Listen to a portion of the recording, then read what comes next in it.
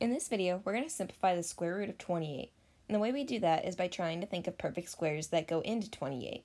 So right at the top of my head, I can think 7 times 4 is 28, and that works out because 4 is a perfect square. So now we can rewrite that as the square root of 7 times the square root of 4. And as we know, the square root of 4 is 2, so our simplified answer is going to be 2 root 7.